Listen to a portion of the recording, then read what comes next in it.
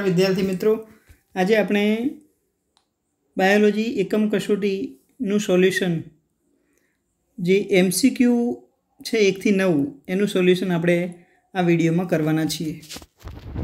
તો, પહેલો પ્રશ્ન છે, small A small A, capital B capital B અને કેપિટલ સી, સ્મોલ સી જન્યુ પ્રકાર ધરાવતો સજીવ કેટલા પ્રકારના જન્યુઓનું સર્જન કરશે? તો મિત્રો અહીંયા બે પ્રકારના જન્યુઓ સર્જાય છે.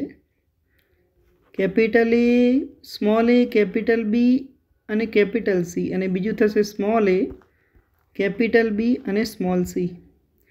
મિત્રો આ જ્યારે પણ આવું કંઈ આ રીતના જનીન પ્રકાર આપ્યો હોય, ત્યારે એમાં જન્યુઓની સંખ્યા શોધવા માટે એક સૂત્ર છે કે વિષમયુગ્મી પરિસ્થિતિ જેટલી હોય,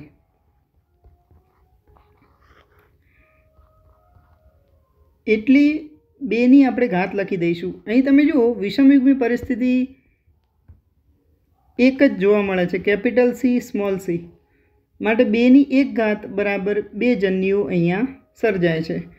જે આપણે જોઈ શકીએ, small A capital B, capital C અને small A capital B, small C.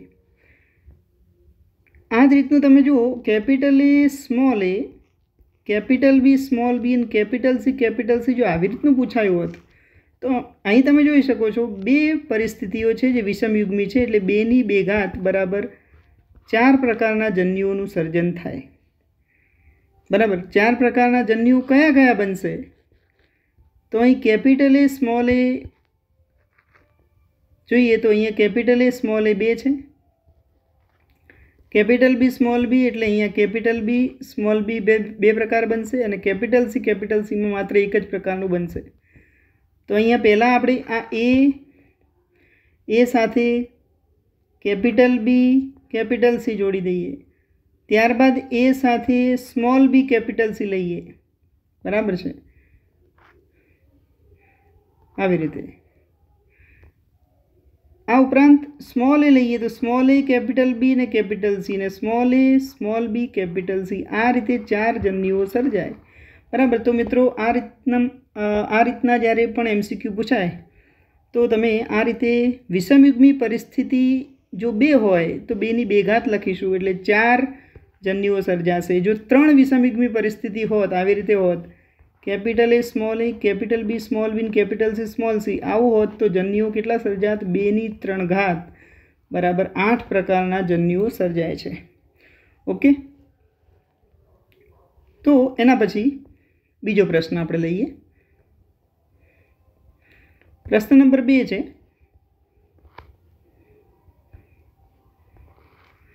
જોડમાં આવેલ વૈકલ્પિક કારકો વિષમયુગ્મી પરિસ્થિતિમાં સંપૂર્ણપણે અભિવ્યક્તિ દર્શાવે તો આ ઘટનાને શું કહે છે?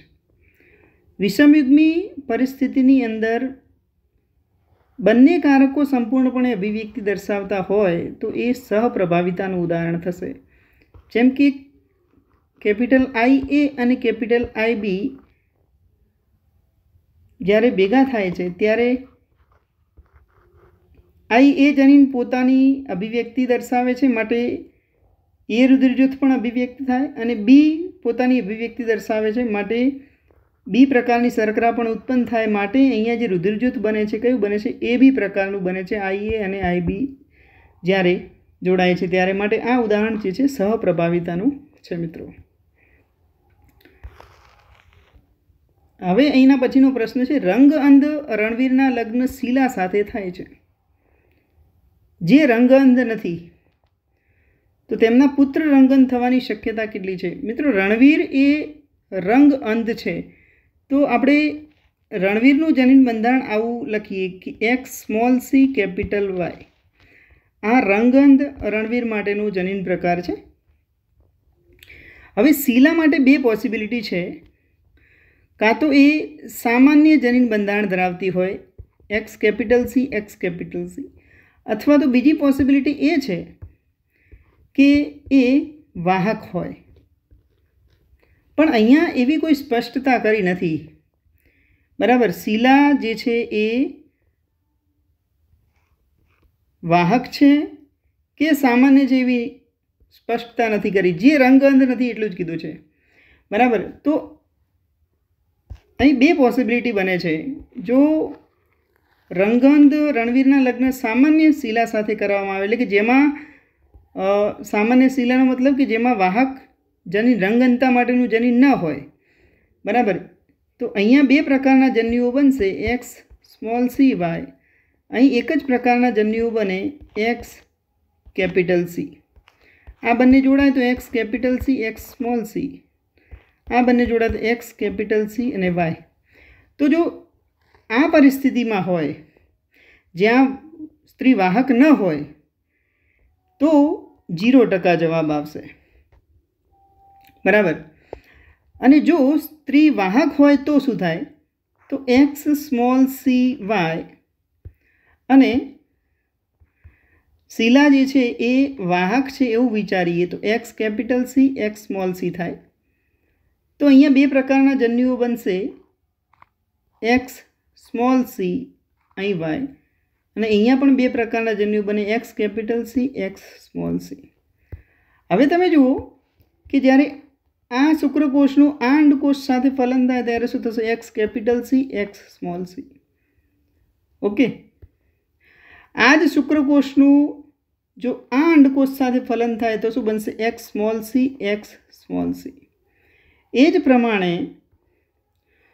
જો આ શુક્રકોષનું અંડકોષ સાથે ફલન થાય તો એક્સ કેપિટલ સી વાય અને આનું આની સાથે ફલન થાય તો એક્સ સ્મોલ સી વાય તો અહીંયા તમે જોઈ શકો છો,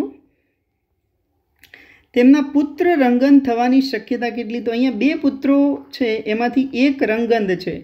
માટે આ શક્યતા કેટલી થાય છે? પચાસ ટકા છે, થાય છે. તો એ પરિસ્થિતિ કે જેમાં સ્ત્રી વાહક હશે તો અહીં પચાસ ટકા હશે. મિત્રો, અહીંયા પ્રશ્નમાં ઘણી વખત સ્પષ્ટતા કરેલી હોય છે કે શિલા જે છે રંગંધ નથી, પણ એના પિતા રંગંધ અથવા તો માતા રંગંધ એવો શબ્દ વાપરે તો આપણે હંમેશા શિલાને વાહક લઈશું. બરાબર, પણ અહીં એવી કોઈ સ્પષ્ટતા નથી માટે જો બંને પ્રભાવી જનીન ધરાવતી સામાન્ય સ્ત્રી શિલા હોય તો જીરો ટકા જવાબ આવે અને જો વાહક હશે તો અહીંયા પચાસ ટકા જવાબ આવશે. ઓકે? તો આ સમજાઈ ગયું હશે મિત્રો. એના પછીનો પ્રશ્ન આપણે લઈએ. ગ્રિફિથના પ્રયોગમાં ન્યુમોકોકસમાં રૂપાંતરિત થતું દ્રવ્ય કયું હતું? તો ગ્રિફિથના પ્રયોગમાં જે દ્રવ્ય હતું એ ડીએનએ હતું. આપણે જાણીએ છીએ જે આર સ્ટ્રેન ધરાવતા બેક્ટેરિયા છે, એ એસ સ્ટ્રેઇનમાં રૂપાંતરિત થાય છે.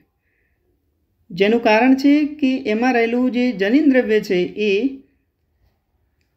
આર સ્ટ્રેન્ડની જે ખરબચડી સપાટી છે, એને લીસી બનાવે છે અને બિન આર આર સ્ટ્રેન જે બિનઝેરી છે એને ઝેરીમાં ફેરવી દે છે. ઝેરી ન્યુમોકોકસ બેક્ટેરિયામાં ફેરવી દે છે. તો આ જે દ્રવ્ય છે એ ડીએનએ હતું.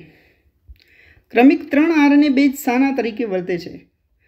તો ત્રણ આરએનએ બેજ જે છે સંકેત તરીકે વર્તે, એટલે કે જનીન સંકેત તરીકે વર્તે અને પ્રતિ સંકેત તરીકે પણ વર્તે છે. એમ આરએનએ પર જે સંકેત આવેલા છે, એને આપણે જનીન સંકેત કહીશું. જ્યારે ટી આરએનએ પર જે સંકેત આવેલા છે, જે એમિનો એસિડને લઈ આવે છે, એને આપણે કહીશું પ્રતિ સંકેત. બરાબર? તો ત્રણ આરએનએ બેઝ એ જનીન સંકેત તરીકે અને પ્રતિસંકેત તરીકે વર્તી શકે એટલા માટે આપણો જવાબ એ અને સી બંને આવશે. એના પછી પ્રશ્ન નંબર આગળ જઈએ. નીચે આપેલ પૈકી કયો વિકલ્પ પ્યુરિન અને પિરિમિડિન બંધ માટે સાચો છે? તો ક્રમ જાળવવાનો છે એટલે પહેલાં પ્યુરિન લેવાનું છે. તો પ્યુરિનમાં કોણ આવશે? એડિનિન અને ગ્વાનિન. તો તમે જોઈ શકો, આ જવાબ નહીં આવે, આ પણ જવાબ નહીં આવે. વધ્યું કોણ? ગ્વાનિન અને ગ્વાનિન તો ગ્વાનિન સાથે એડેનિન જોડાતો નથી.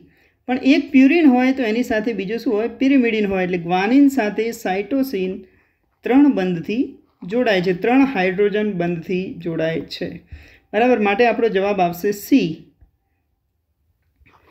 ઓકે એના પછી સાતમો પ્રશ્ન જોઈએ. નીચેના પૈકી કયો બિનચેપી રોગ મનુષ્યમાં મૃત્યુ માટે મોટો કારણ બની ગયો છે? તો કેન્સર એ મૃત્યુ માટે મોટું કારણ બની ગયું છે.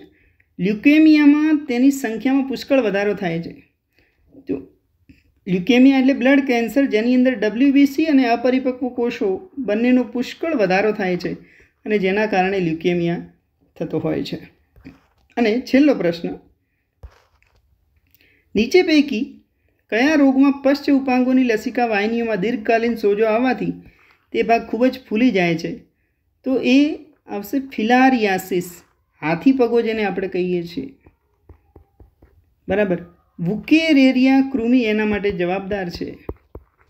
ફિલારિયલ કૃમિ પણ આપણે કહીએ છીએ. બરાબર.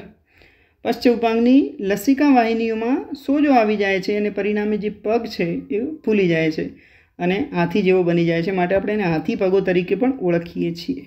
ઓકે?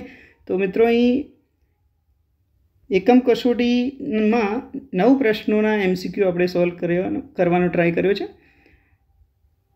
તો આજે આપણે આટલું રાખીએ છીએ. નેક્સ્ટ લેક્ચરમાં આગળ વધીશું. આવજો મિત્રો.